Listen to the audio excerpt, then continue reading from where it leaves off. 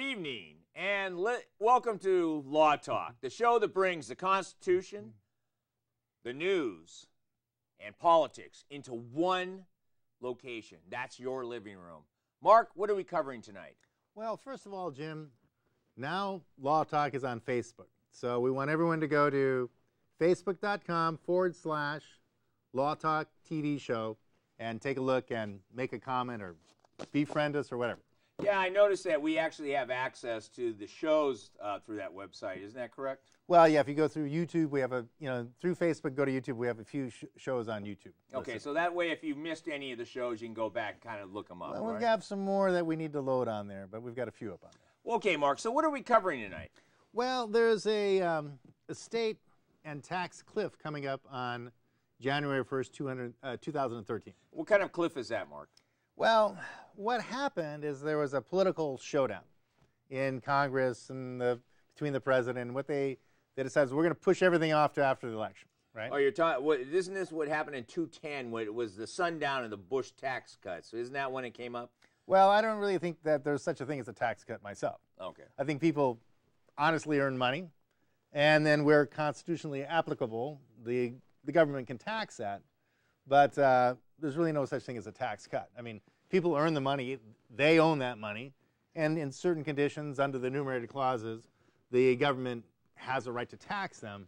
But there's really no such thing as a tax Well, cut. I- mean, it starts out as the earner's money. If I remember correctly, this country was started to abolish taxes, and there's nothing really in the Constitution that allows taxation. It's uh, the taxation started as an administrative action, and so when we talk about uh, a constitutional right to tax people out of their hard-earned money, it doesn't really exist. So well, the, in, the, in, the, in the enumerated clauses, it talks about tariffs and import tariffs and, and excise taxes. So there's, there's, there is taxation. does it talk about the income tax? No, it does not. Does it talk about the state tax? No, it does not. Does it talk about real property tax? No, it does not. So those are taxes that were that are being applied to us that don't really have a rational basis in the Constitution. But under the uh, living Constitution, The living the living Constitution, you have the necessary property, Okay. which is a catch-all of anything that you Ah. can you can come up with as long as you have the votes to do it. So what we've been told all these years on taxation, and it's necessary and proper to tax the people for their hard-earned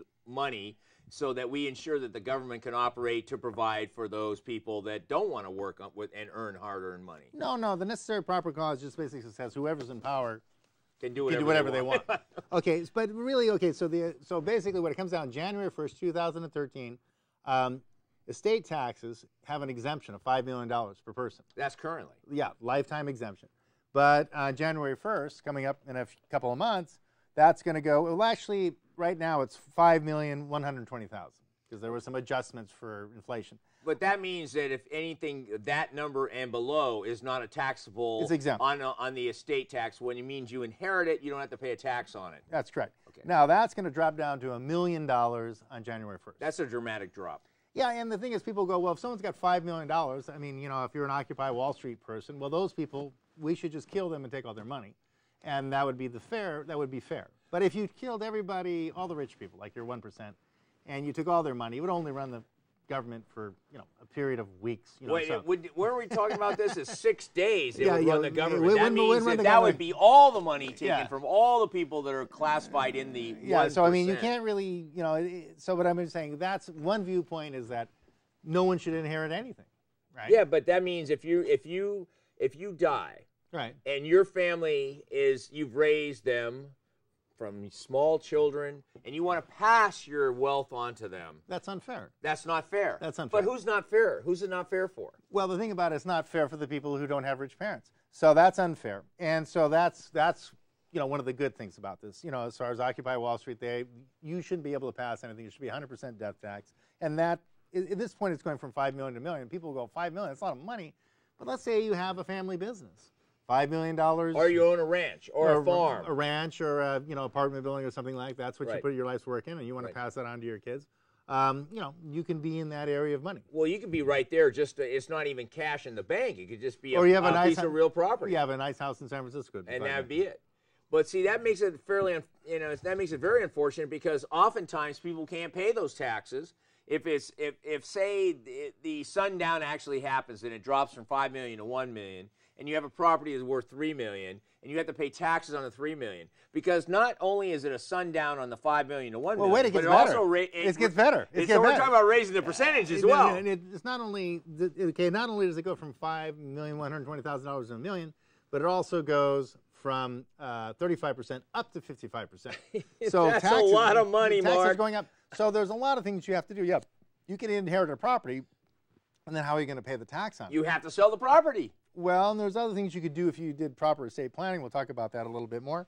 Um, but yeah, you could you could take out life insurance on the on the person who holds the property now, and then that life insurance policy could maybe cover those taxes. You could form a family limited partnership. There's certain things you could do with different trusts, certain things you could do with LLCs, limited liability companies. So there's lots of things Do you, you, could do. You want to give me an example on how a, uh, a limited family partnership would help us? Okay, a family limited partnership could be set up like this. It's rather uh, complex in some ways, but it's an interesting uh, vehicle, in, uh, investment and, and uh, uh, in- in a state vehicle. You could set up the limited partnership. Those could be the parents, for example, right? And then the general partners could be all the children. So Okay. let's say, just for example, you had, you know, five kids and 15 grandchildren or something like that, right? So, and then you had a $5 million property that made a 10% profit every year. So you're making $500,000 a year in profit.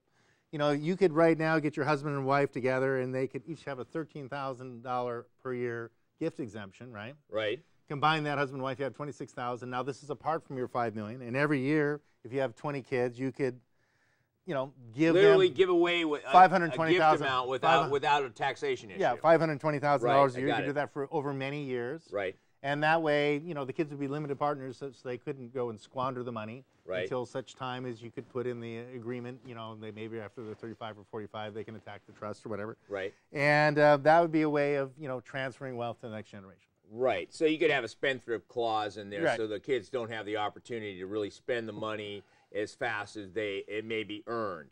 But also you're avoiding the taxation issue by by under the gift exemption. Right. So you're giving each of the beneficiaries gifts that are below the gift exemption. So that means there's no taxation issue on that.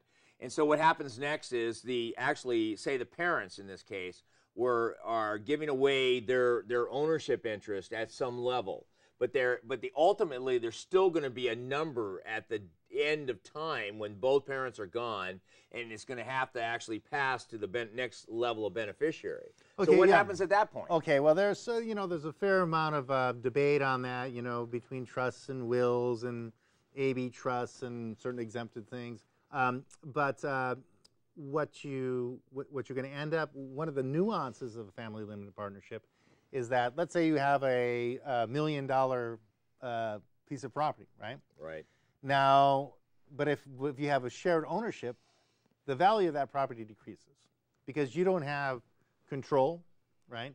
Let's say you have a piece of property, right? Mhm. And but you, let's say you have a piece of property, you own it with your two brothers, or Correct. Okay. Correct. Well, In some kind of limited partnership. some kind of now you don't have control. If you want to sell it, your brother may not want to sell it, or the other Right, one might want right. to sell for a different price. Right. So the fact that you lose some amount of control on that and some kind of li- liquidity, that devalues that property somewhat. Or like a depreciation. There's a certain amount of depreciation. Depreciation allowance. So in a certain way, you can that that also comes into play in your family limited partnership because you have you're splitting it among, amongst your siblings, or or- so there is some some you get some tax credit there. Correct. So there you go. So those are those are some of the ways you can do it. But wait a minute, what's what's going to be the alternative? The alternative is going to be that when January 1st, 2013 comes around, they extend the so-called Bush tax cuts, and they actually allow this uh, current estate program to go forward. What do you think the odds are on that? Well, like I said, I don't believe in the terminology of a tax cut. I don't I don't believe there's such a thing. Right. I mean, people earn money. The government taxes where it's constitutionally uh, uh, able to do so. But you can't really have a tax cut. I mean, it's, Okay. it's you know. But anyway, um, you could say you can say there's an absence of a tax, but I, you know, or the absence of a raise. But what we would say, if this is going to change, you know, it depends on which party wins. If, Okay. if, if you know, if you have the Republican Party win, you know, they, they, they may reason, remain the same. If the Democrats win, it'll probably be reduced. Whether it'll go down to a million or maybe it'll be two or three million, it'll probably be reduced. Okay, well, why don't we why don't we uh, cover this? Because you know what, January first is going to be coming up, and we're going to find out what happened in the election during our next show. So why don't we leave that and let's move to our second topic. What's that tonight? Oh, okay. Well, that's uh, Dodd Frank. Wait a minute, Dodd Frank. Would that be Chris Dodd and Barney Frank? Well, those are the, you know some real great guys, and they, what they're doing is they're looking out for the little guy. They're looking They're out for the look- little guy. looking out for the you know, little I've always heard that. I Yeah, heard they're Chris looking out for the Dodd's always guy. looking out for the little guy. But the little guy is usually the little guy at his bank account where he's hoping to. Yeah. But anyway, let's move on. Uh, the Dodd Frank bill. What isn't that something that was passed as a reaction to the the banking industry failures that happened in 2007, 2008? Well, there was some, you know, there were some scandals, there was some crisis in the banking industry, and people were upset because they said, well, look, you know, we've lost our houses, we've lost our fortunes, and yet some of these bankers getting out with golden parachutes. Right. Well, And they- so playing on that sentiment and that emotion, um, they went in and really, basically, as a, like a judge would say, the, the banking industry got a spanking. They did get a spanking, and what what it what it was was because the banks have been dealing in the derivatives of the home mortgage business, and I, we covered this in one of our Right, earlier right. shows. Uh, the derivatives that were put together by a variety of Bundled. mortgages, they were they were bundled with mortgages that were all cut up into pieces, then put together in derivatives, and then traded like some kind of stock product Right. between banks, and that's where the, a lot of the banks went under because they were they were overloaded with these derivatives that Well, the- actually had the- no value. Well, the question wasn't that they didn't have a value, but when they're asked for the valuations, There's no way to the valuations were treated. They were okay. When they're asked the valuation, say, "Well, how many of these bets? What's your percentage of bad bets in this bundle?" Right? And they said, "Well, our percentage of bad bets in this bundle is 15." It was really about 18 or 21 or somewhere. So there was like Right, a three to right. three to six percent wow factor, yow factor yeah. in there. That when it turned out, no, it wasn't really 15. It was six percent. Well, when you leverage all these things, because you got to understand, when a bank gets money, you know, from the Federal Reserve, and they leverage things. They don't. They make loans. They don't have money in their bank to cover all those loans. No, so, they don't. So They when have you to borrow money. So, they, so, but I mean, they're leverage. You know, they're Right. they're allowed to Right. loan more than they have, and so you know, when you have six percent, that becomes a huge crisis. Right. Correct. Huge. And well, anyway, let's let's go back on Dodd Frank because I actually have a note here on uh, what the Dodd Frank bill did. It created a financial stability oversight council. Now that council is made up by the voting members, which consists of the head of the Treasury, the Federal Reserve, the OCC, the SEC, the F- CFTC, and the FDIC, FHFA, and NCUA. Now that sounds like an alphabet soup, but what it really is is a group of all the organizations that run the financial, all the financial monitoring in the country. Well, the government group. The government groups. So These it- are all yeah, government well, groups. like and so, of course, these are appointees as well. No, They're no, unelected no, no, officials. but it's like in the old days you had a king and they appointed dukes. they appointed the dukes. So these are basically like dukes. That's right. Okay, and so you have one duke that's in charge of, you know, what you can say, what you can't say, and then you have one duke in charge of your energy costs. Right. And now this is a duke in charge of the money. So, and what's interesting about this, um, they're the uh, the Consumer Financial Protection Bureau. Oh, the But Protection Bureau. But the funny thing about the consumer, the consumer has no redress against the Consumer Financial Protection Bureau. If he the sues consumer an- has no redress no, on no, any if, of he this. goes, there's no judicial review. Correct. And if, if like say- Unelected officials. There's unelected officials. So the CFBA says, look, okay, this bank, right?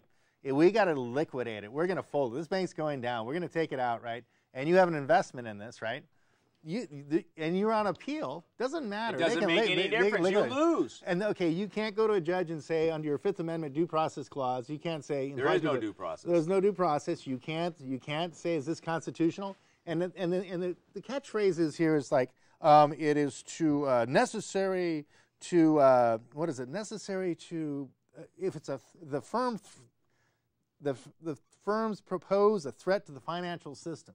So if it's necessary to uh, to to preserve the financial system, these people have complete control.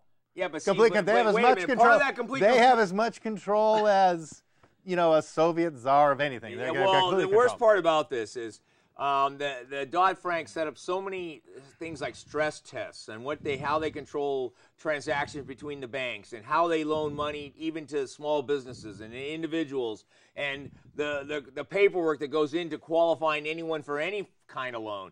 The problem is what they've done is they put all these pressures onto the bank that they're saying we're going to monitor all this. And the banks are worried about well wait a minute you know, we really don't. We we want to make sure we have more money than we need. So that means we're not going to loan the money that we borrow. And currently, the borrowing rate for most of these banks is zero percent. Right. So they don't even want to loan it, even if you can get three percent, because they're saying, "Whoa, we want to be be able to pass the uh, Dodd Frank stress test." which says that we're a strong bank and we can live, we can go on. Right.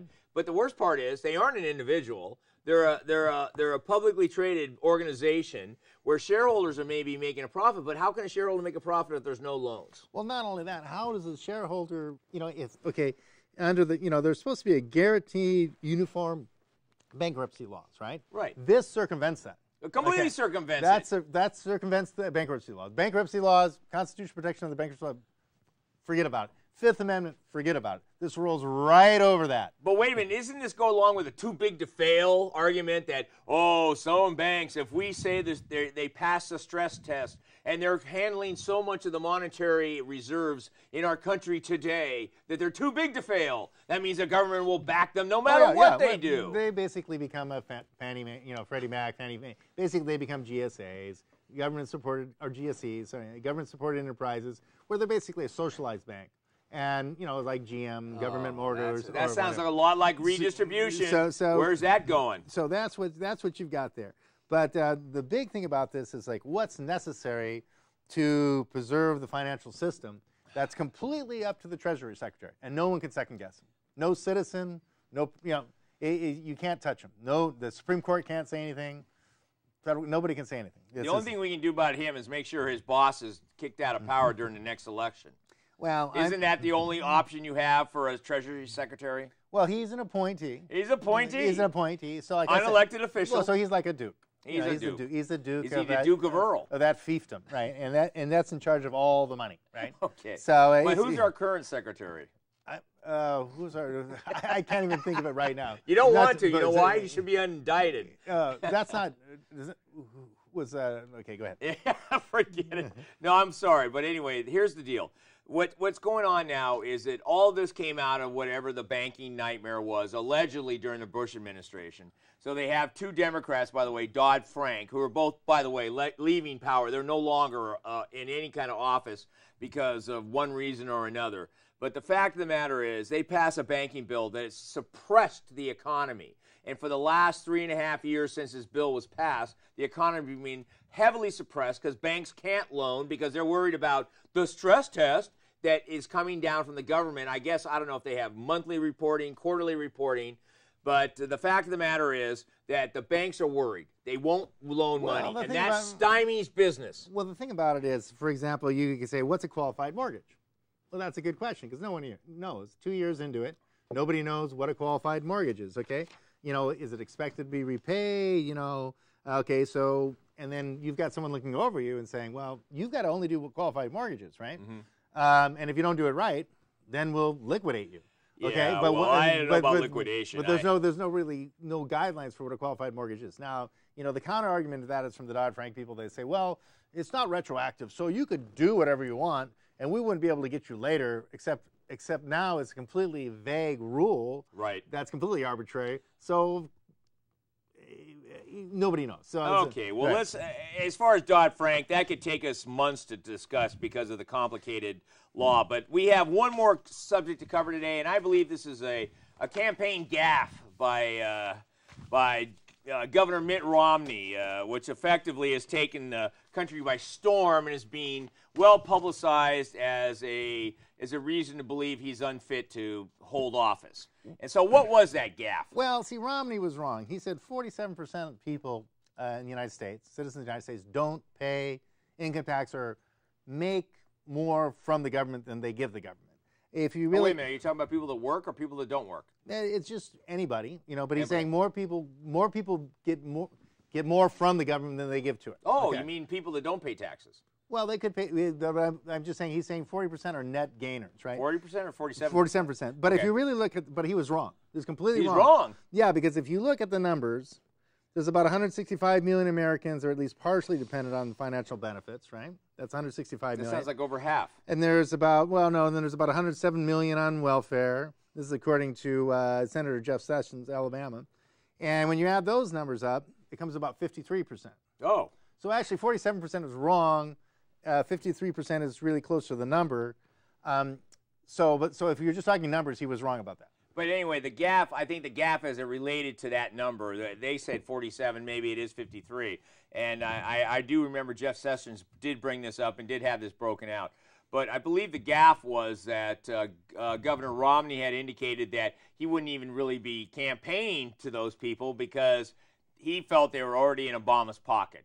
Well, President Obama's pocket. You know, Romney took this back. He said it was a mistake. He took it back. He took it back. He says it was a mistake. I should have said the it. cow was out of the barn, but I'm going to take it back in the barn? So he says, you know, he, he was sorry about that. He, Oh, he's sorry he about didn't- that. But I Uh, think I, I think what he was doing, he was saying, you know, where are we going to concentrate our, our, Our campaign, re- campaign, yeah. campaign resources? And since Romney is an old-fashioned guy, right, and he's kind of silly.